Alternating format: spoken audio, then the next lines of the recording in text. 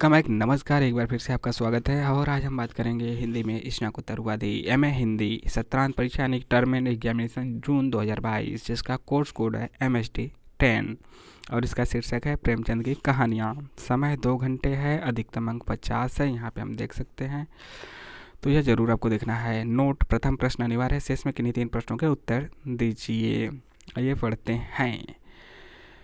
निम्नलिखित गद्यांश में किन्हीं दो की संदर्भ सहित व्याख्या कीजिए। आज इसकी संदर्भ सहित व्याख्या करना है। आज वह पूजन गृह से निकले तो देखा दुखी चमार घास का एक गट्ठा लिए बैठा है। दुखी उन्हें देखते ही उठ खड़ा हुआ। उन्हें साष्टांग दंडवत करके हाथ बाँध कर खड़ा हो गया। यह तेजस्वी मूर्ति देखकर उसका हृदय श्रद्धा से परिपूर्ण हो गया। कितनी दिव्य मूर्ति थी। छोटा सा गोल मटोल आदमी, चिकना सिर, फूले गाल ब्रह्म तेज से प्रदीप्त आँखें, रोरी और चंदन देवताओं की प्रतिमा प्रदान कर रही थी। दुखी को देखकर श्रीमुख से बोले, दुखी को देखकर श्रीमुख से बोले, आज कैसा चला रहे दुखिया? दुखी ने सिर झुका करके कहा, बिटिया की सगाई कर रहा हूँ महाराज, कुछ साइज़ सगुन बेचारना है, कब मर्ज़ी होगी?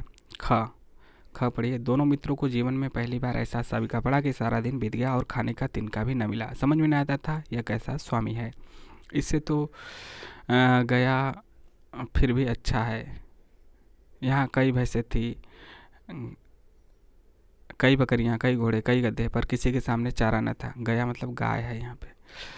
पर सब ज़मीन पर मुर्दों की तरह पड़े थे। कई तो इतने कमज़ोर हो गए कि खड़े भी नहीं हो सकते थे। सारा दिन दोनों मित्र फाटक की ओर टकटकी लगाए ताकते रहे, पर कोई चारा लेकर आता न दिखाई दिया।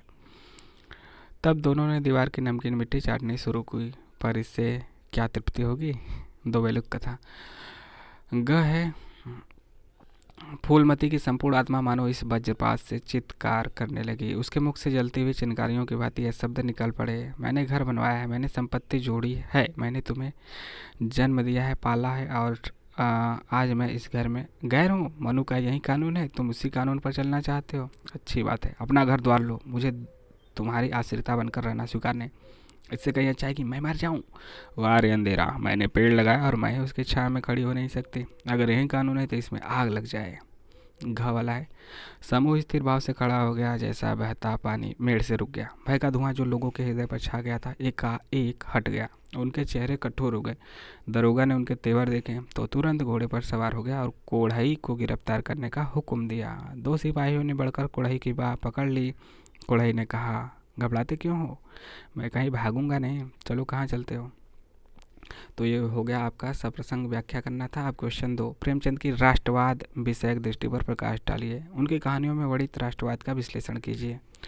क्वेश्चन तीन है, प्रेमचंद की कहानी, कला के मूल तत्वों का विश्लेषण कीजिए।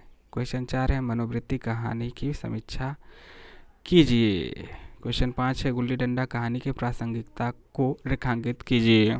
क्वेश्चन छः है, ईदगाह कहानी की मूल संवेदना को स्पष्ट कीजिए।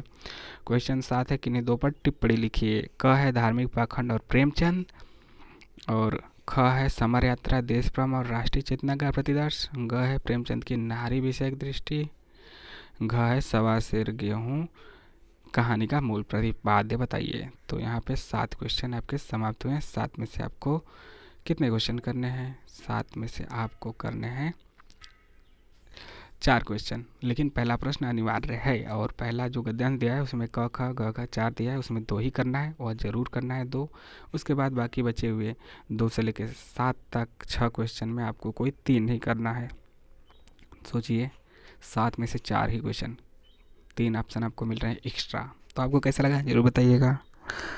मिलते हैं नए वीडियो के साथ। जय हिंद, जय भारत।